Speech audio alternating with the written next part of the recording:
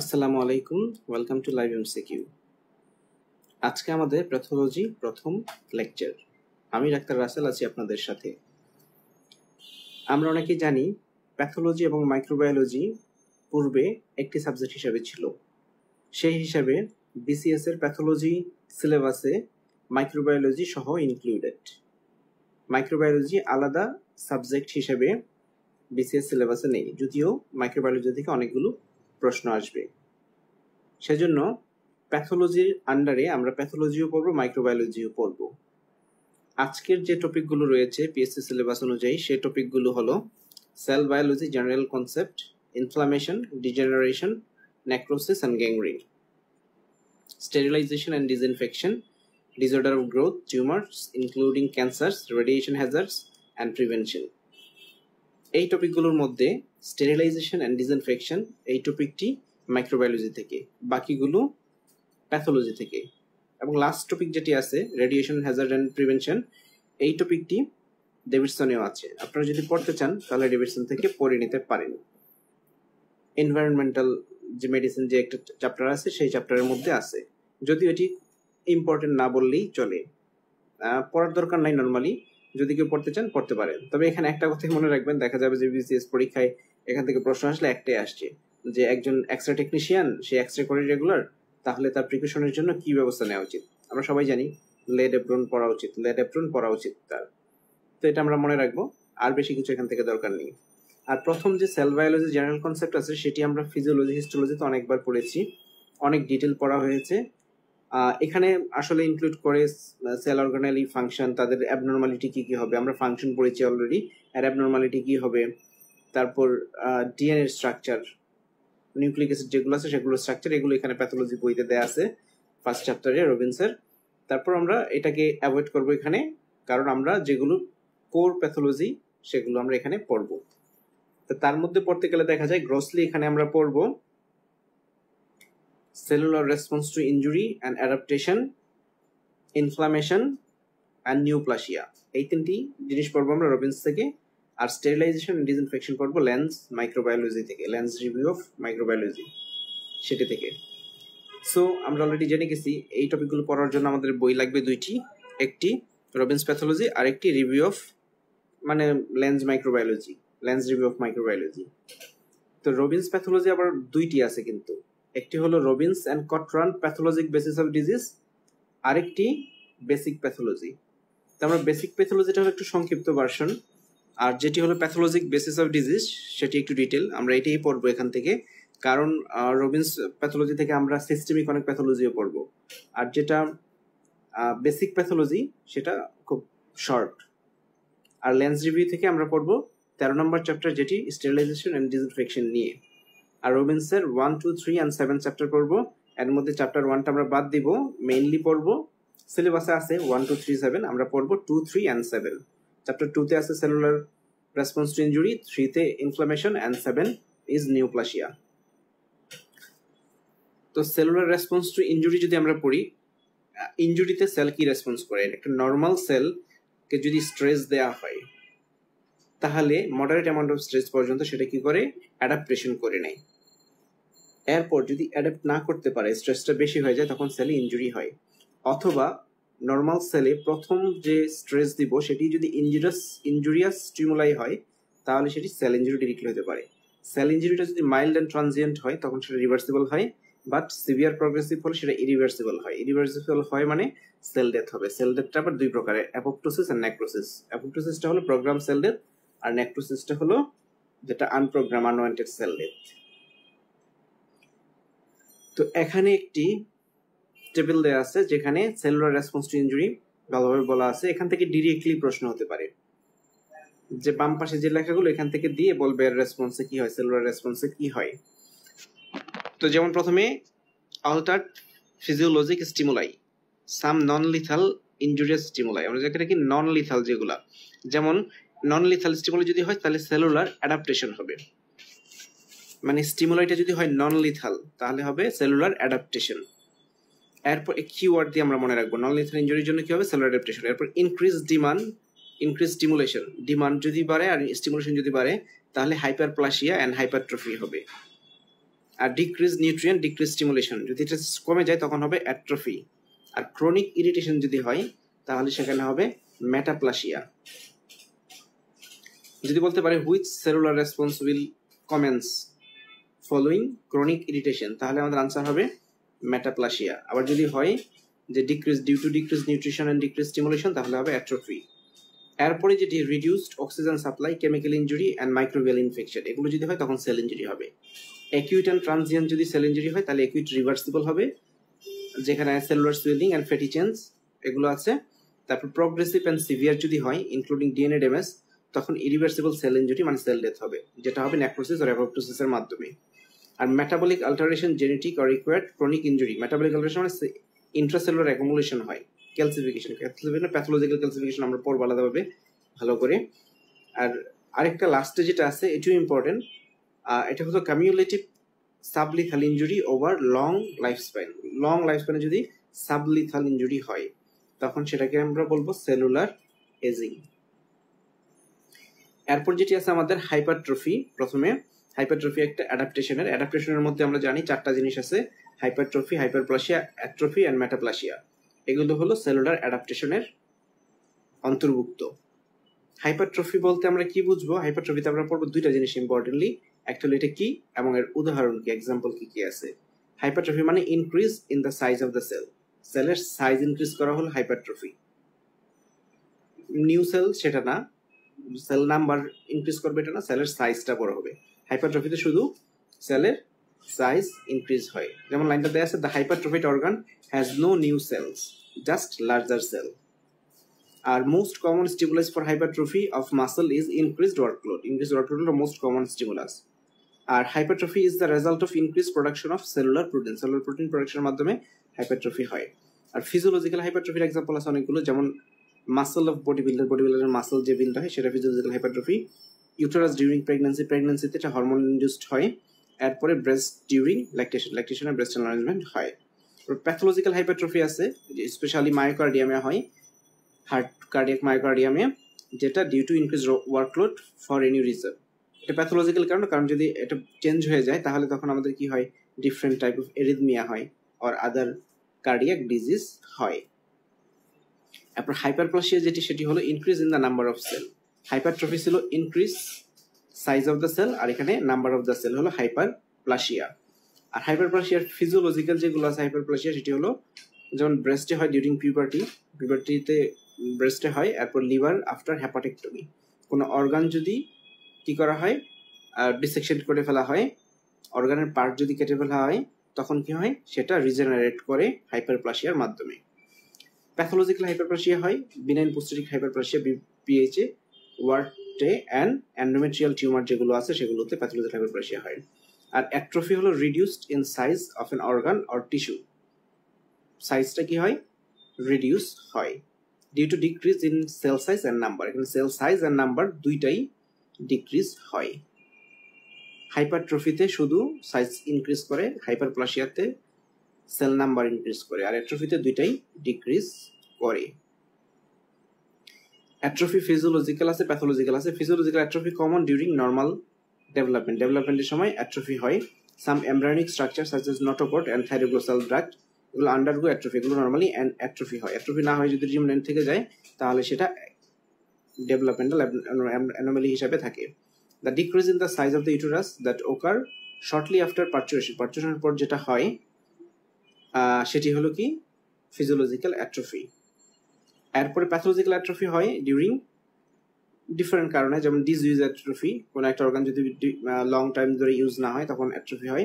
Denervation atrophy হয় pressure atrophy হয় senile atrophy মানে এজ রিলেটেড যেটি সিনাইল অ্যাট্রফি হয়। এরপর নিউট্রিশনাল ডেফিসিয়েন্সির কারণে অ্যাট্রফি হতে পারে। তারপর মেটাপ্লাসিয়া হলো reversible change in which the differentiated cell type is replaced by another cell type মানে এটা একটা রিভার্সিবল ইঞ্জুরি এবং এখানে কি এক ধরনের সেল অন্য ধরনের সেলে কনভার্ট হয়ে যায়। এটাকে বলা হয় ডাবল এইচ সোর্ট মেটাপ্লাসিয়াকে ডাবল এজ সোর্ট হিসেবে বলা হয়। তবে রবিনসে ডিরিকে বলা আছে epithelial metaplasia is a double edge sword epithelial মেটাপ্লাসিয়াকে specially বলা আছে। তো এই মেটাপ্লাসিয়া হলো দুই প্রকার epithelial and connective tissue metaplasia তো এপিথেলিয়াল মেটাপ্লাসিয়া হলো, আবার এখানে columnar and squamous metaplasia most common epithelial metaplasia is columnar to squamous যেটি হয় রেসপিরেটরি ট্রাক্টে due to chronic irritation R metaplasia from squamous to columnar যেটি হয় ব্যারেট ইসোফেগাসে যেখান থেকে ইসোফেজাল কার্সিনোমা হতে পারে। আর কানেক্টিভ টিস্যু মেটাপ্লাসিয়া হিসেবে আছে বিভিন্ন form during formation of cartilage bone or adipose tissue mesenchymal টিস্যুতে in tissues that normally do not contain this element মানে যেই টিস্যুতে যে এলিমেন্টটা কন্টেইন করে না, সেই টিস্যুটা সেখানে ফর্মেশন হওয়া। সেটি হলো কানেক্টিভ টিস্যু মেটাপ্লেশিয়া তো এই সবগুলো টপিককে ডিটেল একটু সংক্ষেপে যেখানে বলা আছে, কি কনসেপ্ট রবিন্স যে প্যাথোলজিক্যাল বেসিস অফ ডিজিজ সেই বইতে কিছুক্ষণ পর পরই প্রত্যেকটা টপিক শেষে কি কনসেপ্ট হিসেবে দেওয়া আছে সেগুলো আমরা রিডিং করে নিব বোঝার জন্য, বিষয়টা বোঝার জন্য। তবে এমসিকিউ আসার জন্য যে টপিকগুলো যে প্রশ্নগুলো দরকার হবে, যে ইনফরমেশনগুলো দরকার হবে, সেগুলো চ্যাপ্টারের ভিতর থেকে পড়ে নিতে হবে। কারণ যেমন অ্যাট্রফি হাইপারট্রফি এগুলোর এক্সাম্পল এখানে দেয়া নেই, কি কনসেপ্ট এখানে জাস্ট বোঝা, যে ব্যাপারটা বোঝার জন্য টপিকটা বোঝার জন্য এই কি কনসেপ্টটা পড়া যেতে পারে। কিন্তু এমসিকিউ আনসার করার জন্য তখন আমাদের পড়তে পড়তে হবে ভিতর থেকে চ্যাপ্টারের ডিটেল। এরপরে নেক্রোসিস নেক্রোসিসের অনেকগুলো টাইপ আছে।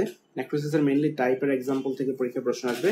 যেমন কোয়াগুলেটিভ নেক্রোসিস হলো ischaemic necrosis of solid organ যেমন heart kidney liver adrenal gland সবগুলো coagulative necrosis ischaemic necrosis of brain only liquefactive necrosis আর বাকি সব সলিড অর্গানেরটা কোয়াগুলেটিভ এটা মনে রাখতে হবে বারবার। আর gumma in of tertiary syphilis tertiary syphilis যে গুমা হয়, একটা লিশন হয়, সেই লিশনটি কোয়াগুলেটিভ নেক্রোসিস এটা আমাদের মাথায় রাখতে হবে। এরপর কেজিয়াস নেক্রোসিস হলো গ্রানালোমা অফ টিবি। গ্রানোলোমা যেটি, টিউবারকুলোসিসের যে গ্রানোলোমা সেটি হলো কেজিয়াস নেক্রোসিস আর সিফিলিসের যে গুমা, সেটি হলো কোয়াগুলেটিভ নেক্রোসিস আর ফ্যাট নেক্রোসিস আছে, ফ্যাট নেক্রোসিসের মধ্যে এনজাইমেটিক নেক্রোসিস হলো প্যানক্রিয়াসে হয়। আর ট্রমাটিক নেক্রোসিস হয় ব্রেস্টে আর ফিব্রিনয়েড নেক্রোসিস কোলাজেন ডিজিজ যেমন রিউমাটয়েড আর্থ্রাইটিস অ্যাসিলি ইভেন রিউমেটিক ফিভার রিউমেটিক ফিভারে ফিব্রিনয়েড নেক্রোসিস হয়। এরপর অ্যাপোপ্টোসিস যেটি, এটা হলো ফিজিওলজিক্যাল অ্যাপোপ্টোসিস হতে পারে during embryogenesis menstruation and menopause এই এই টাইমগুলোতে কি হয়? অ্যাপোপ্টোসিস হয়। মেনোপোজে কি অ্যাপোপ্টোসিস হয়? ওভারি ফলিকলগুলো অ্যাপোপ্টোসিস হয়ে যায়। মেনস্ট্রুয়েশন সময় কি হয়? ইউটেরাইন লেয়ার অ্যান্ড্রোমেট্রিয়াম আর অ্যাম্ব্রাইজেনেসিস হবে ডিফারেন্ট অর্গান যেমন ফিঙ্গারের মাঝখানে যে গ্যাপটা তৈরি হয়, সেই গ্যাপটা অ্যাপোপ্টোসিসের মাধ্যমে তৈরি হয়। আর প্যাথোলজিক্যাল হতে পারে কখন? সার্টেন ভাইরাল ইনফেকশনের ক্ষেত্রে। ভাইরাল ইনফেকশনের ক্ষেত্রে অ্যাপোপ্টোসিস হতে পারে। যেমন হ্যাপাটাইটিস ভাইরাসের ক্ষেত্রে কি হয়? অ্যাপোপ্টোসিস হয় লিভার ড্যামেজ হয়। তখন একটা বডি তৈরি হয়, যেটাকে বলা হয় কাউন্সিলম্যান বডি কাউন্সিলম্যান বডি একটা প্যাথোগনমিক ফিচার প্যাথোলজিক্যাল ফিচার হলো কাউন্সিলম্যান বডি তৈরি হয় হ্যাপাটাইটিসে লিভারে তো নেক্রোসিস এন্ড অ্যাপোপ্টোসিসের ডিফারেন্স এটা খুব ভালো করে পড়তে হবে, এটা খুবই ইম্পর্টেন্ট এখানে সেল সাইজ নিউক্লিয়ার সেল সাইজটা নেক্রোসিস অ্যানলার্জ হয় সোয়েলিং হয় অ্যাপোপ্টোসিস রিডিউসড হয় প্লাজমা মেমব্রেনটা ডিসরাপ্টেড হয় নেক্রোসিসে আর অ্যাপোপ্টোসিসের ক্ষেত্রে ইনট্যাক্ট থাকে। আর সেলুলার কন্টেন্ট এনজাইমেটিক ডাইজেশন হয়, কিন্তু অ্যাপোপ্টোসিসে ইনট্যাক্ট থাকে। অ্যাডজাসেন্ট ইনফ্লামেশনটা অ্যানাক্রোসিসে ফ্রিকুয়েন্ট হয়। সো এই ডিফারেন্সটা আমরা খুব ভালোভাবে পড়ে নিব। এরকম যেগুলো খুব ইম্পর্টেন্ট ডিফারেন্স বা যে স্লাইডগুলো সেই স্লাইডগুলো আমি গ্রুপে আপলোড দিয়ে দিব, যেন সবাই দেখে নিতে সুবিধা হয়। এই ব্যাপারটা করার কারণে, যে ইম্পর্টেন্ট স্লাইডগুলো আপলোড দেওয়ার কারণে, এখন আপনারা যে বারবার পিডিএফ চাইতেন, সেই পিডিএফ চাওয়াটা আসলে দরকার হবে না। কারণ সবগুলো তো এভাবে দরকার নেই, যে বারবার দেখার জন্য যে স্লাইডগুলো দরকার হবে, সেগুলো আমি ডিরেক্টলি ফটো আকারে আপলোড দিয়ে দিব গ্রুপে এরপরে যেটি কি কনসেপ্ট যেটা আমরা দেখব, সেটা হলো morphologic alteration in injured cell and tissue reversible ইঞ্জুরিতে কি হয়? নেক্রোসিসে কি হয়? প্যাটার্ন অফ টিস্যু নেক্রোসিস কীরকম হয়? তো নেক্রোসিসে কি কি হয়? রিভার্সিবল ইঞ্জুরি যেগুলো সেগুলোতে কি হয় সেলুলার সুইলিং সুয়েলিং ফেটিটেন্স এই দুটো হলো মোস্ট ইম্পর্টেন্ট যেটা রিভার্সিবল ইঞ্জুরিতে হয়। Cellular swelling ফেটিটেন্স plasma membrane blebbing and loss of microvilli mitochondrial swelling dilation of endoplasmic reticulum eosinophilia আর নেক্রোসিসের ক্ষেত্রে কী কী চেঞ্জ হয়? সেটা আমরা দেখে নিব। নিউক্লিয়ার চেঞ্জ যেটি আছে, সেটা একটি ইম্পর্টেন্ট নিউক্লিয়ার চেঞ্জটা আমরা দেখে নিব। Nuclear changes nuclear shrinkage fragmentation and dissolution এই তিনটা যে চেঞ্জ আছে, সেই চেঞ্জটা আমরা দেখে নিব। যে চেঞ্জটাকে আসলে বলা হয় পাইটনোসিস ক্যারিওরেক্সিস ক্যারিওলাইসিস এই তিনটা নিউক্লিয়ার চেঞ্জ আমরা দেখে নিব। এরপরে ফ্রি রেডিক্যাল ইঞ্জুরি যেগুলো আছে ফ্রি রেডিক্যাল ইঞ্জুরি আমরা খুব ভালোভাবে দেখব। ফ্রি রেডিক্যাল ইঞ্জুরি নিয়ে রবিনসে একটি টেবিল আছে যেখানে ফ্রি রেডিক্যালগুলোর নাম তাদের প্রপার্টিসের মধ্যে mechanism of production mechanism of inactivation and pathologic effect দেয়া আছে। যেমন, প্রথমে যে ফ্রি রেডিকেলটি আছে, সেটি হলো superoxide ion superoxide কি? কীভাবে প্রোডাকশন হয়? Incomplete reduction of oxygen during oxidative phosphorylation by phagocyte phagocyte oxidase in leukocytes মানে এখানে কোথায় তৈরি হচ্ছে? Incomplete reduction of oxygen during oxidative phosphorylation এর কারণে সুপার অক্সাইড তৈরি হচ্ছে। এটা ইনএক্টিভেট হয় কীভাবে? Conversion of to hydrogen peroxide and oxygen by superoxide dismutase superoxide dismutase enzyme দিয়ে সুপার অক্সাইড যে ফ্রি রেডিক্যাল সেটি ইনএক্টিভেশন হয়। তারপর হাইড্রোজেন পারঅক্সাইড যেটি আছে, এটা সুপার অক্সাইড ডিসমিউটেজ থেকে দিয়ে তৈরি হয় এবং এইটাই কি হয়? Converted to water and oxygen by catalase enzyme catalase enzyme থেকে পারক্সি জুমস বলা হয় ক্যাটালেজ এবং glutathione peroxidase catalase and glutathione peroxidase দিয়ে এটা কনভার্টেড হয়। কোন এনজাইম দিয়ে কনভার্টেড হয় কিসে? সেটা খুব ইম্পর্টেন্ট আমরা পড়ে রাখব। আর যেটি আছে হাইড্রোক্সিল ফ্রি সেটি কনভার্টেড হয় ওয়াটারে বাই গ্লুটাথায়ন পারক্সিডেস এরপরে যেটি আছে পারক্সিনাইট্রাইট সেটি কনভার্টেড টু সেটা কনভার্ট হয়ে যায় নাইট্রেটে বাই পারক্সি ডক্সিনস তাহলে এটা আমরা জেনে রাখব। মেইনলি মেকানিজম অফ ইনএক্টিভেশন কীভাবে কোন ফ্রি রেডিক্যালটা ইনএক্টিভেট হয়, সেটা আমরা ভালোভাবে জেনে রাখব, যেটা পরীক্ষার জন্য খুব ইম্পর্টেন্ট তারপর অ্যাপোপ্টিসিস আমরা পড়ে ফেলেছি অলরেডি অ্যাপোপ্টিসিসটা কি? এটা আমরা কি কনসেপ্টে আবার দেখে নিব বিষয়টা বোঝার জন্য। তারপর নেক্ট্রোপটোসিস অ্যান্ড পাইরোপটোসিস দুটো জিনিস এক্সট্রা রয়ে গেছে, এটা আমরা মাথায় রাখব। যদি এখান থেকে প্রশ্ন আসে, যেন আমরা পারি। জাস্ট আমরা জেনে রাখব নেক্রোপ্টোসিসটা কি অ্যান্ড পাইরোপটোসিসটা কি। নেক্রোপ্টোসিসটা হলো নেক্রোপ্টোসিস রিজেম্বলস নেক্রোসিস মরফোলজিক্যালি তার মানে morphologically নেক্রোপ্টোসিসটা necrosis and apoptosis mechanistically mechanistically সেটা অ্যাপোপ্টোসিস কিন্তু মরফোলজিক্যালি সেটি necro necrosis necrosis and apoptosis যেটা একসাথে মিলিত একটা কম্বিনেশন যেটাকে আমরা নেক্রোপ্টোসিস বলি। আর যেটি পাইরোপ্টোসিস পাইরোপ্টোসিসটা হলো pyroptosis occurs in cells infected by microbes বিভিন্ন মাইক্রোবস ইনফেক্টেড হলে তখন পাইরোপ্টোসিস হয়। It involves activation of caspases one which cleaves the precursor form of interleukin 1 to generate biologically active interleukin 1. Caspasis 1 along with closely related Caspasis 11 also cause death of infected cell. মানে আসলে পাইরোপ্টোসিসটা হয় কি দিয়ে infected by microbes যেই সেলগুলোতে infected by microbes হয় সেই সেলগুলোতে পাইরোপ্টোসিস হয় তারপর অটোফেকি একটা জিনিস আছে যেটা হলো involves sequestration of cellular organelle into cytoplasmic autophagic vacuole autophagy হয় অটোফেগি কে করে আমরা জানি নর্মাল লাইসোজোম এই জিনিসটা আমাদের জেনে থাকলেই হবে অটোফেগিটা করে কে? লাইসোজোম এরপর প্যাথোলজিক্যাল ক্যালসিফিকেশন একটা টপিক আছে, যেটি খুবই ইম্পর্টেন্ট তো প্যাথোলজিক্যাল ক্যালসিফিকেশন হলো abnormal tissue deposition of calcium salt abnormal calcium salt deposition হবে টিস্যুতে together with smaller amount of iron magnesium and other mineral other মিনারেলও থাকতে পারে সাথে। এটা দুই প্রকার প্যাথোলজিক্যাল ক্যালসিফিকেশন দুই প্রকার।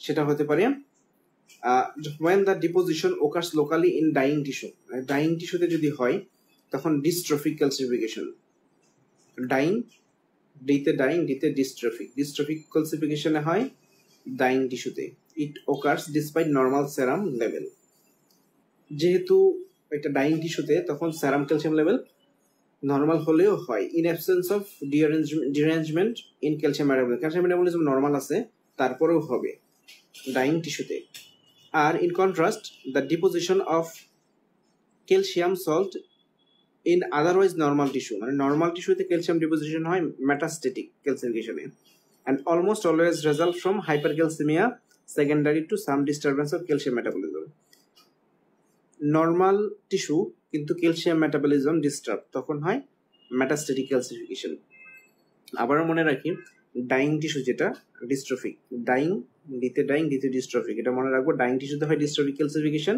তার মানে ডাইং টিস্যু যেহেতু একটা নেগেটিভ পয়েন্ট তাহলে একটা পজিটিভ পয়েন্ট কি থাকবে? ক্যালসিয়াম লেভেল নর্মাল আর নর্মাল টিস্যুতে হয় মেটাস্টেটিক যেহেতু টিস্যু নর্মাল এখানে কি হবে? ক্যালসিয়াম মেটাবলিজমটা ডিরেন্সড হবে।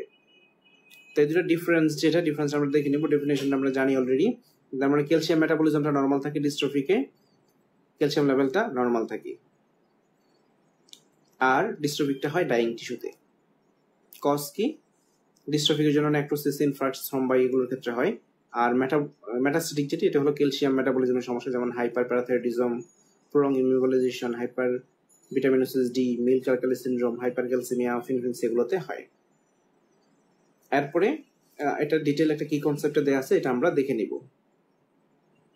এরপর সেলুলার এজিং যে কনসেপ্টটা আমরা জানি যে সাবলিথাল ইঞ্জুরি যদি প্রলং টাইম ধরে হয়, সাবলিথাল ইঞ্জুরি সেটা ক্যামিউলেটিভ ইফেক্ট হিসাবে cellular aging হয় cellular aging result from a combination of accumulating cellular damage reduced capacity to divide reduced ability to repair damaged DNA and defective protein homeostasis একসাথে অনেকগুলো যেমন accumulation of DNA damage হয়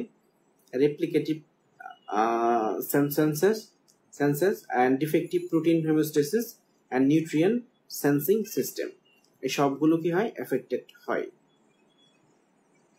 এরপরের chapter যেটি, সেটা হলো inflammation inflammation থেকে আমরা প্রথমে ইনফ্লামেশন সাইন আমরা জানি, সবাই পাঁচটি সাইন আছে। সেই সাইনটাই না দেখে আমরা প্রথমে একিউট অ্যান্ড ক্রনিক ইনফ্লামেশনের ডিফারেন্সটা পড়ে নিব, যেটা পরীক্ষা আসতে পারে। আমরা জানি একিউটটা কি? ফার্স্ট অনসেট অ্যান্ড ক্রনিকটা স্লো সেলুলার ইনফিল্ট্রেট ইনফিল্ট্রেট হিসাবে একিউটে মেইনলি নিউট্রোফিল থাকে, আর ক্রনিকে মনোসাইট ম্যাক্রোফেজ অ্যান্ড লিম্ফোসাইট আর tissue injury fibrosis tissue ইঞ্জুরিটা usually mild and self limited একিউটে আর ক্রনিকের ক্ষেত্রে often severe and progressive and finally হয় ক্রনিকের ক্ষেত্রে ফাইব্রোসিস হয়। লোকাল অ্যান্ড সিস্টেমিক সাইনগুলো একিউটে প্রমিনেন্ট থাকে, ক্রনিকের ক্ষেত্রে লেস থাকে। একিউটটা দেখতে খুব সিভিয়ার কিন্তু কম টাইমের জন্য থাকবে। আর ক্রনিকটা দেখতে সিভিয়ার না হলেও এটা লং টার্মের জন্য থাকবে। খারাপ কোনটি? দুইটাই খারাপ। এরপরে disease cause by inflammatory reaction এটি খুব ইম্পর্টেন্ট ডিসঅর্ডারের নাম এবং সেখানে cell and molecules involve in the injury একুইটের ক্ষেত্রে যেমন একুইট রেসপিরেটরি ডিস্ট্রেস সিনড্রোম এর জন্য নিউট্রিফিল দেয়। অ্যাজমাতে ইউসিনোফিল আইজি অ্যান্টিবডি গ্লোমেরুল নেফ্রাইটিসে antibody and complement antibody complement complex তৈরি করে এটা হয়। তারপর নিউট্রিফিল মনোসাইট আর সেপটিক শকে সাইটোকাইন ক্রনিকের মধ্যে আর্থাইটিস যেটি আছে লিম্ফোসাইট ম্যাক্রোফেস অ্যাজমাতে ইউসিনোফিল আইজি আর অ্যাথেরোস্ক্লেরোসিসে ম্যাক্রোফেস থাকে। ফোম সেল আমরা জানি ফোম সেল তৈরি হয়। পালমোনারি ফাইব্রোসিসে ম্যাক্রোফেস থাকে। Fibroblast principal mediators of inflammation inflammation যে মেডিয়েটরগুলো আছে মেডিয়েটরগুলোর সোর্স এন্ড অ্যাকশন এটা পড়তে হবে ভালোভাবে। যেমন histamine mast cell basophil platelet থেকে আসে, এটা ভ্যাজোডাইলেটেশন করে, কি কি করে, প্রত্যেকটা ফাংশন আমরা পড়ব। প্রোস্টাগ্ল্যান্ডিন কি করে লিকোট্রাইন কি করে সাইটোকাইন কি করে। এটা আমরা পড়ে নিব, তবে এই চারটা আমরা পরে পড়ব। এর আগে আমরা শর্ট চার্ট যেগুলো, প্রত্যেকটা আলাদাভাবে সেটা আমরা পড়ে নিব, পড়ে তারপর এটা আমরা পড়ব। এরপর যেমন আছে অ্যারাকিটোনিক অ্যাসিড মেটাবলাইট যেগুলো আছে, সেগুলোর অ্যাকশন কি? যেমন ভ্যাজোডাইলেটেড করে ইউকেসানাইট কোনগুলা? Prostaglandin IG PG I two এটা প্রোস্টাগ্ল্যান্ডিন মানে পিজি আই টু যেটা prostacyclin prostacyclin PG E one PG E two and PG D two এগুলো ভ্যাসোডাইলেটেশন করে। আর ভ্যাসোকনস্ট্রিকশন করে thromboxane A two leukotrienes C four D four and E four R vascular permeability বাড়ায় leukotrienes C four D four E four আর chemotaxis লিকোসাইটিয়েশন করে leukotrienes B four and hydroxy, eicosa, tetra, enoic acid HETE মানে hydroxy, ইউকোসা, টেট্রাইউনিক acid. এরপর ইনফ্লামেশনের cytokine কোনটা কোথায় কাজ করে, এটা খুব ইম্পর্টেন্ট যেমন টিএনএফ কি কাজ করে interleukin one interleukin six interleukin seventeen কি কাজ করে, এগুলো প্রত্যেকটা আমরা দেখব। এরপরে যে চারটি আছে, এটি ইম্পর্টেন্ট এই যদি আমরা এতক্ষণ বারবার ইনফ্লামেটরি মেডিয়েটর বারবার পড়লাম তো এর মধ্যে সবগুলো যদি আমরা মনে রাখতে পারি, অবশ্যই যে চারটা আমরা পড়ব সেটি হলো এটি। ব্যাজোডাইলেটেশন করে কে কে? Histamine and prostaglandin vascular permeability বাড়ায় histamine serotonin complement C three A C five A leukotrienes C four D four E four আর ক্যামোটিক্সিসে কে কে করে? ফিভার এটা খুব important interleukin one TNF and prostaglandin পেইনে prostaglandin and bradykinin tissue ড্যামেজে lysosomal enzyme of leukocyte reactive oxygen species এগুলো কি করে? Tissue damage করে। এরপরে এক্সাম্পল আছে ডিফারেন্ট গ্র্যানুলোমেটাস ইনফেকশন যেমন আর যেটা যে দুটো আমরা খুব ভালোভাবে জানি, সেই দুটো খুব ইম্পর্টেন্ট যেমন টিউবারক্লোসিস অ্যান্ড সিফিলিস টিউবারক্লোসিসে কেজিয়েটিং গ্র্যানুলোমা তৈরি হয়, যেটা টিউবারকল হিসাবে থাকে কেজিয়েটিং গ্র্যানুলোমা আর সিফিলিসে থাকে গুমা, যেটা হলো কি? আমরা জানি কোয়াগুলেটিভ নেক্রোসিস কেজিয়েটিং নেক্রোসিসে টিউবারক্লোসিস আর সিফিলিসে হয় কোয়াগুলেটিভ নেক্রোসিস এরপর যেমন ক্যাশ ক্র্যাশ ডিজিজে রাউন্ডেড ও স্টিলেট গ্র্যানুলোমা হয় সার্কোইড ডিজিজে নন কেজিয়েটিং গ্র্যানুলোমা নন কেজিয়েটিং গ্র্যানুলোমা হয় সার্কোইড ডিজিজে ক্রনস ডিজিজে অকেশনাল নন কেজিয়েটিং গ্র্যানুলোমা হয়। আর লেপ্রোসিতেও নন কেজিয়েটিং কেজিয়েটিং হলো টিউবারকুলোসিসে সিফিলিসিস যেটা, সেটা হলো আমরা বললাম কোয়াগুলেটিভ আর বাকি সবগুলো নন কেজিয়েটিং তারপরে ইনফ্লামেশন থেকে এগুলোই পরীক্ষা আসার জন্য বিসিএস আসার জন্য ইম্পর্টেন্ট তারপরে বেসিক পড়ার জন্য, অথবা যদি আমরা রেসিডেন্সির জন্য পড়ি, তারপরে ভিতরে অনেক ডিটেল আছে, সেগুলো পড়তে হবে। তবে আমরা এখন সোললি পড়ব শুধুমাত্র বিসিএস এর জন্য। আর বিসিএস এর জন্য এই টপিকগুলো পড়লে আশা করা যায় কমপ্লিট হবে। আমরা আসলে পরীক্ষার জন্য এইটি পার্সেন্ট মোটামুটি এইটি পার্সেন্টের জন্য প্রিপারেশন নেই। যার মধ্যে থেকে আমরা ভুল টুল করে যেন সিক্সটি পার্সেন্ট থাকে। একশো পার্সেন্টের জন্য প্রিপারেশন নিতে হলে আরও অনেক ডিটেল পড়তে হবে। বাকি এই টোটাল এইটি পার্সেন্টের জন্য যা পড়তে হবে, বাকি টোয়েন্টি পার্সেন্টের জন্য তার চেয়ে আর অনেক বেশি করতে হবে। সেই জন্য আমরা সেই হাই লেভেলের লেভেলেরটা প্রিপারেশন না নিয়ে সেটা প্রত্যেকে ইন্ডিভিজুয়ালি যারা নিতে পারবে, আমরা অনলি ফোকাস করব মেনলি এইটি পার্সেন্ট যেন আমরা টপিক কভার হয় সেটার জন্য। এরপর যে নিউ প্লাসিয়া চ্যাপ্টার আছে, এখানে আমরা শুধু শুধু ইউজলেস যেমন নিউ প্লাসিয়ার ডেফিনেশন এগুলো পড়ে টাইম নষ্ট করব না। এখানে আমরা ডিরেক্টলি যেখান থেকে প্রশ্ন হতে পারে নমেন ক্লাচার অফ টিউমার এর মধ্যে বিনাইন কি মেলিগনেন কি। এখান থেকে যেমন কোনগুলো বিনাইন কোনগুলো মেলিগনেন এটা জানতে হবে কোন টিস্যু অরিজিন থেকে কোনটি বিনাইন হচ্ছে, কোনটি মেলিগনেন হচ্ছে, এটা জানব। এখানে কিছু ইম্পর্টেন্ট যেমন বিনাইন টিউমার কিছু আছে যেটার নাম আপনার শুনে মেলিগনেন মনে হতে পারে। মেলিগনেন টিউমার কিছু আছে যেগুলো বিনাইন মনে হবে। যেমন ওমা ও এম এ যেগুলো এগুলো বিনাইন টিউমার মেলিগনেন টিউমার আছে যেমন লিমফোমা লিমফোমাতে ও এম এ আছে, কিন্তু সেটি কি বিনাইন না, সেটি মেলিগনেন টিউমার সার্কোমা যেগুলো, এগুলো মেলিগনেন্ট টিউমার আমরা জানি, কিন্তু সার্কোমা নাম ছাড়া, সার্কোমা কার্সিনোমা নাম ছাড়াও যেমন লিউকেমিয়া লিমফোমা মেসোথেলিওমা এগুলা কি? মেলিগনেন্ট টিউমার এটা আমাদের মাথায় স্পেশালি রাখতে হবে। আর বাকিগুলো তো ঠিকই আছে, যেমন পেপিলোমা এটিও কি? বিনাইন টিউমার এরপরে আরও যেগুলো আছে, যেমন epithelial lining of gland and duct থেকে হয় অ্যাডেনোমা পেপিলোমা সিস্টেডিনোমা রেসপিরেটরি বেসিসে ব্রঙ্কিয়াল এডিনোমা তো এগুলো করসপন্ডিং কার্সিনোমা হয়, সেটা আমরা জানি। এরপর urinary tract এপিথেলিয়ামে transitional cell papilloma transitional cell carcinoma হয়, আর প্লাসেন্টাল এপিথেলিয়ামে হাইড্রাটিফর্ম মোল হয়। তো এখানে হাইড্রাটিফর্ম মোল যেটার বিনাইন সেটার মেলিগন্যান হলো কোরিও কার্সিনোমা যেমন রাখতে হবে। এখানে সেমিনোমা যেটি সেমিনোমা সেটি কি? Malignant tumour testicular epithelium germ cell tumour seminoma এটা আমাদের মনে রাখতে হবে। তারপর উইলস টিউমার যেটি রেনাল অ্যাঙ্গেলে হয় বাচ্চাদের, সেটি হলো মেলিগন্যান্ট টিউমার তাহলে এটা আমরা মনে রাখব। এরপরে বিনাইন এন্ড মেলিগন্যান্টের টিউমারের যে পার্থক্য, এটি হলো সবচেয়ে ইম্পর্টেন্ট এখানে। তো এটা আমরা মনে রাখব। এটাকে বলা হয় মনে রাখার জন্য, পার্থক্যের পয়েন্ট হলো চারটা dreams D R I M dream এটা হলো পার্থক্য ডিতে ডিফারেন্সিয়েশন ডিফারেন্সিয়েশনটা বিনাইনটা ওয়েল ডিফারেন্সিয়েটেড আর মেলিগন্যান্টটা ডিফারেন্সিয়েশনের অভাব থাকে ল্যাক অফ ডিফারেন্সিয়েশন যেটাকে বলে অ্যানাপ্লাসিয়া। এরপর আর্টে যেটা রেট অফ গ্রোথ বিনাইনটা কি? প্রগ্রেসিভ অ্যান্ড স্লো আর যেটা মেলিগন্যান্ট এটা খুবই র্যাপিড গ্রোথ থাকে এরাটিক বলা হয়। আর যেটা লোকাল ইনভেশন ইনভেশন যেটা আই লোকাল ইনভেশন বিনাইনে ইউজুয়ালি কোহেসিভ এক্সপেন্সের ওয়েল ডিমার্কেটেড আর যেটা মেলিগন্যান্ট এটা locally invasive infiltrating surrounding tissue খুব রেপিডলি ইনভেশন করে। আর মেটাস্টাসিস আমরা জানি মেলিগন্যান্টে ফ্রিকুয়েন্টলি থাকে আর বিনাইনে অ্যাবসেন্ট হয়। এরপর chronic inflammatory states and cancer বিভিন্ন স্টেটসে কি ক্যান্সার হতে পারে, এটা আমাদের জানতে হবে। যেমন যদি কলিসিস্টাইটিস থাকে ক্রনিক কলিসিস্টাইটিস তাহলে গল ব্লাডার ক্যান্সার হতে পারে প্যানক্রিয়াটিস থেকে প্যানক্রিয়াটিক ক্যান্সার হতে পারে। তারপর ইনফ্লামেটরি বায়াল ডিজিজ থেকে কোলোরেক্টাল কার্সিনোমা হতে পারে। ব্যারেট ইসোফেগাস থাকলে ইসোফেজিয়াল কার্সিনোমা এরপরে যদি গ্যাস্ট্রাইটিস আলসার থাকে, এখানে গ্যাস্ট্রিক এডেনোকার্সিনোমা মাল্টোমা মাল্ট লিম্ফোমা হতে পারে। হ্যাপাটাইটিস থেকে হ্যাপাটোসেলুলার কার্সিনোমা অস্টিমালাইটিস থেকে কার্সিনোমা ড্রেনিং সাইনাস হতে পারে। সার্ভিসাইটিস থেকে সার্ভাইকাল কার্সিনোমা হতে পারে। ক্রনিক সিস্টাইটিস থেকে ব্লাডার কার্সিনোমা হতে পারে। কারণ অনেকদিন ধরে যদি ইউটিআই মানে সিস্টাইটিস হয় লোয়ার ইউটিআই সিস্টাইটিস হয়, তাহলে ব্লাডার কার্সিনোমা হতে পারে। এবং সেটার ক্ষেত্রে দায়ী হয় সিস্টোসোমিয়াসিস, একটা প্যারাসাইটিক ডিজিজ সিস্টোসোমিয়াসিস থেকে ব্লাডার কার্সিনোমা হতে পারে। এরপরে টিউমার মার্কার এটা খুব ইম্পর্টেন্ট একটা চার্ট টিউমার মার্কার কি কি থাকে? এই টিউমার মার্কারটা টিউমার টাইপ কি?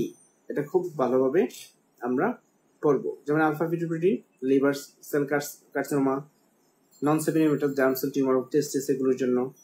তারপর CA one twenty five ovarian cancer CA nineteen nine colon cancer pancreatic cancer CA fifteen three breast ক্যান্সারের ক্ষেত্রে থাকে।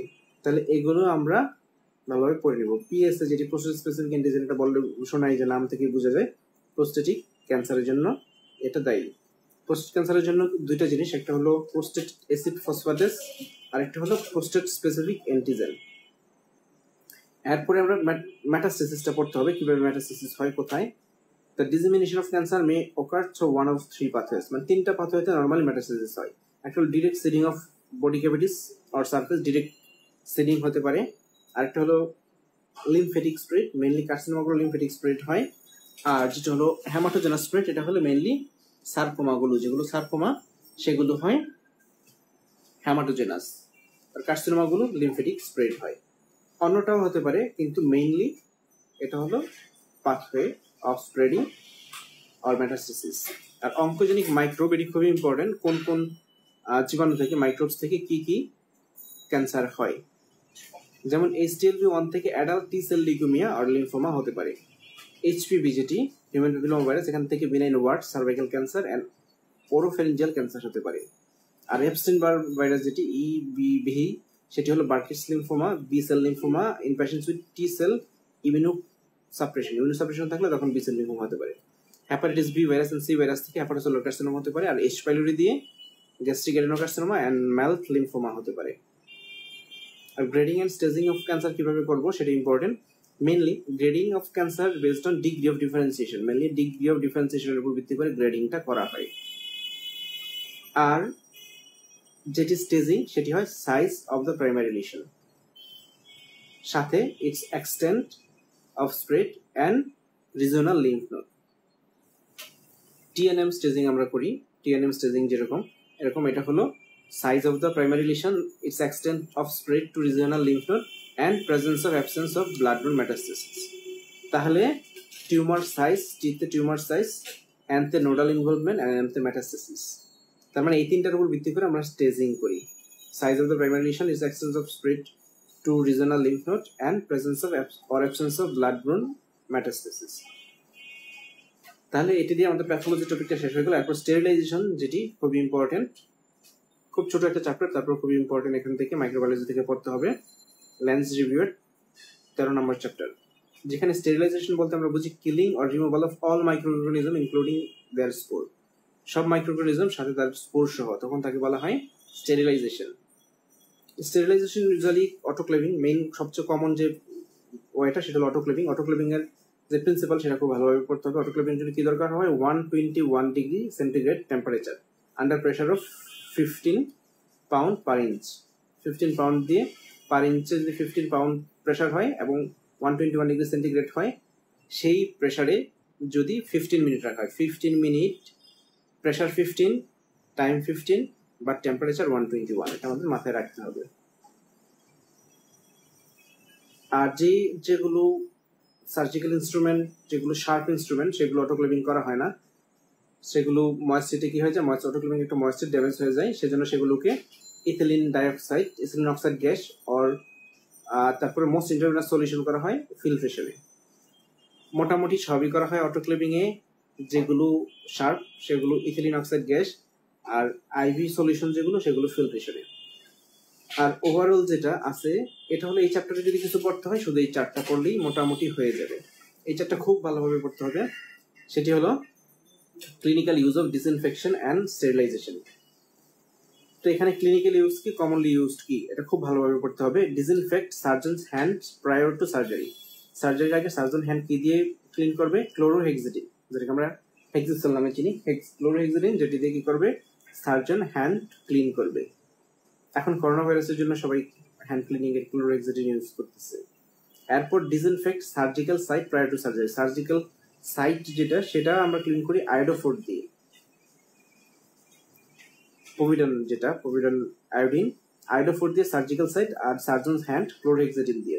Disinfect skin prior to venipuncture or immunisation এটা seventy percent ethanol seventy percent ethanol দিয়ে venipuncture or ইমিউনাইজেশনের ক্ষেত্রে clean করা হয়। Disinfect skin prior to blood culture or inserting vascular catheter সেক্ষেত্রে দেওয়া হয় tincture iodine followed by 70% ethanol or iodophore or chlorhexidine. তো এখানে স্পেশাল দেওয়া হয় টিংচার আয়োডিন আর ওন ক্লিনিং এ দেওয়া হয় থিমোরোজাল থিমোরোজাল ক্লোরোহেক্সিডিন হাইড্রোক্সেন পারক্সাইড আর বার্নুন যেটা, এটা ক্লিন করা হয় সিলভার সালফার ডায়াজিন দিয়ে। সিলভার সালফার ডায়াজিন দিয়ে বার্নুন ক্লিন করা হয়। পরে clean up of blood spill from a patient with hepatitis B or C hepatitis B or C disinfect যে এরিয়াটা সেই এরিয়াটা ডিসইনফেক্ট করার জন্য হাইড্রোক্লোরাইড সলিউশন মানে ব্লিচিং পাউডার ইউজ করা হয়। আর সার্জিক্যাল ইনস্ট্রুমেন্ট যেগুলো আছে হিট সেন্সিটিভ ম্যাটেরিয়াল সেগুলো ethylene oxide or glutaraldehyde দিয়ে স্টেরিলাইজেশন করা হয়।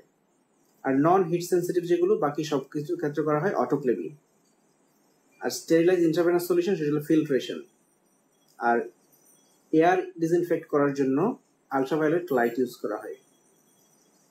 Floor of the operating room যদি ফ্লোর ডিসইনফেক্ট করা হয়, সেটার জন্য লাইজল ইউজ করা হয়। আর লাইজলের নাম কেমিক্যাল নাম হলো বেনজেলকোনিয়াম ক্লোরাইড স্ট্যাথোস্কোপ ডিসইনফেক্ট করার জন্য সেভেন্টি পার্সেন্ট ইথানল ইউজ করতে হয়। যেটা আমরা এখন হ্যান্ড স্যানিটাইজার হিসেবে ইউজ করি। আর preservative in vaccine vaccine preservative জন্য থাইমারোজাল থাইমারোজাল আমরা ইউজ করলাম তাহলে কিন্তু ভ্যাকসিন প্রিজার্ভেশনের জন্য, এরপরে ওন ক্লিনিং এর জন্য। এরপর একটা আছে, এটা খুব ইম্পর্টেন্ট না, তারপরে দেখে নেওয়া যায় infection control precaution and practices এখন করোনা ভাইরাসের জন্য এটা অলরেডি সবাই ফলো করে, কিন্তু লেন্স রিভিউতে এটি করোনা ভাইরাস আসার আগেই দেয়া ছিল। মানে করোনা প্যান্ডেমিক হওয়ার আগে এটা দেয়া ছিল। সেটি হলো যেমন স্ট্যান্ডার্ড প্রিকশন কোনটি? সব পেশেন্টের ক্ষেত্রে আমাদের hand hygiene respiratory hygiene and cough etiquette safe injection practice proper disposal of needles and scalpel এগুলো মেনটেন করতে হবে। তারপরে if exposure to blood secretion তখন আমাদের পার্সোনাল প্রোটেক্টিভ ইকুইপমেন্ট মানে পিপি ইউজ করতে হবে। তাহলে পিপিটা লেন্সে আগে থেকেই ছিল। আর আমরা করোনার জন্য এখন ইউজ করা স্টার্ট করেছি। এরপরে কন্ট্রাক্টের ক্ষেত্রে যেমন কোন ভাইরাস রেসপিরেটরি ভাইরাসের ক্ষেত্রে কন্ট্রাক্টের ক্ষেত্রে আমরা কি ইউজ করব টিউবারকুলোসিসের আমরা কি করব, সেগুলো এখানে দেওয়া আছে। এটা জানার জন্য পড়ে নেবেন কিন্তু এটা পরীক্ষার জন্য ইম্পর্টেন্ট না। এই চ্যাপ্টার থেকে ইম্পর্টেন্ট বলতে গেলে যে কি আমরা কোন ধরনের ইনস্ট্রুমেন্ট আর এয়ার কি ওয়েতে আমরা ক্লিন করি, সেটা জানা ইম্পর্টেন্ট যেটি এর আগের বক্স যেটি ছিল, সেই বক্সটিতে দেয়া ছিল। এটি এখান থেকে খুব ইম্পর্টেন্ট এখান থেকে প্রশ্ন আসবেই। এরপর আমরা অলরেডি বলে ফেলেছি যে রেডিয়েশন হাজার থেকে কি পড়ব আর বাকি এখান থেকে প্যাথোলজির তিনটি চ্যাপ্টার যেটি হলো সেল ইঞ্জুরি অ্যান্ড অ্যাডাপ্টেশন তারপরে ইনফ্লামেশন অ্যান্ড নিউপ্লাসিয়া এই তিনটা চ্যাপ্টার পড়ব খুব ভালো করে। তারপর লেন্স রিভিউ থেকে তেরো নম্বর চ্যাপ্টার ডিসইনফেকশন অ্যান্ড স্টেরিলাইজেশন পড়ে নিব। এখান থেকে না পড়তে পারলে এমবিবিএস লেভেলের গাইড বই অথবা খালেক্স প্যাথোলজি যে বইটি আছে, সেই বই থেকে পড়লেও হবে। সবাই ভালোভাবে পড়ে এই টপিকটা পরীক্ষা দিবেন, কেননা এটি খুবই ইম্পর্টেন্ট পরীক্ষায় প্রশ্ন আসার মতো। Thank you all